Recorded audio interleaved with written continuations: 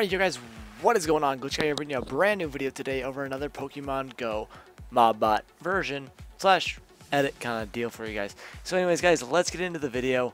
Um, this video is over PokeMobBot, obviously, um, and we will first show off the Discord, obviously. If you guys haven't joined the Discord, links in the description for that.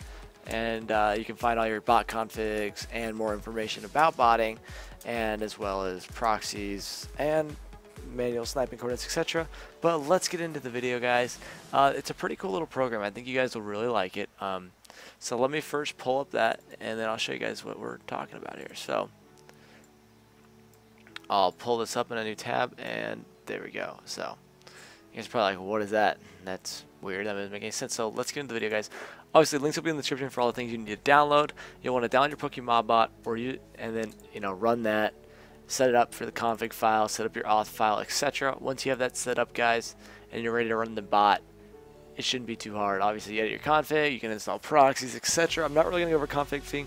If you're looking for a config, go to the video in the last the last video that I made yesterday. And you guys can download a good config file that's good for you guys and check it out. But let's get into the video, guys. So once we have that downloaded, what you want to do is we'll close this here, and we will grab this and we will go into our PokeEase, which is one of the things we're going to download.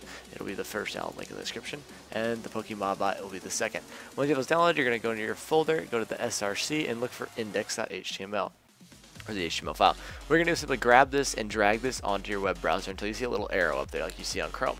Once you do that, it'll open up the page and then what we're going to do is I'm going to make this a little bit smaller for you guys. We're going to head on back over to our Pokemon bot and we're going to run the PokeMobBot.exe. What this will do is this will, basically this just gives you an interface for what's going on here. So as you guys can see, PokeMobBot's running right here, but this is showing you all the Pokestops and everything around it. So as you guys can see, it's going to do some mapping. It'll pull up Pokemon as they're around. So let's see what happens. As you guys can see, you can pull up your journal, which is your incubator and things like that. When it's activated, Pokeballs, things you caught, times, etc. If you want to clear that, you can. Uh, hexagons are the gyms, and then it'll also show up these, um, the Pokemon that are around. So then you guys can open up the menu. You can check out your Pokemon via the menu here. Check out your Pokedex, etc. What you have caught, what you haven't caught. Um, all those things. So, once you have that, go to your backpack, and then you can also see all the items in your backpack.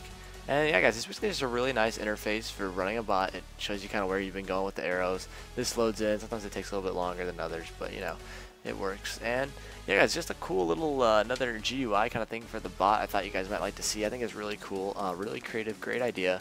Honestly, shows you so much information. Go to your journal, set up your configs and just watch it go. And then you can go to your settings. There's not anything in here yet, but I think they're planning on adding things soon. But yeah, guys, I hope you like the video. I think it is pretty cool it shows you all this. You can click this, shows attempts, probability, XP, candies, catch type, level, all that fun stuff that you guys might be curious about. And yeah, guys, I thought it'd just be a really cool little thing to show you guys. I thought it's awesome. It's another Pokemon bot kind of modification, make it look sweet, guys. So if you guys did enjoy the video, hit that like button. If you're new here and haven't subscribed yet, make sure you hit that subscribe button for videos on Pokemon Go botting as they come out. And uh, if you really want to help your buddies out, go ahead and hit that share button, tweet at it, whatever you guys want to do.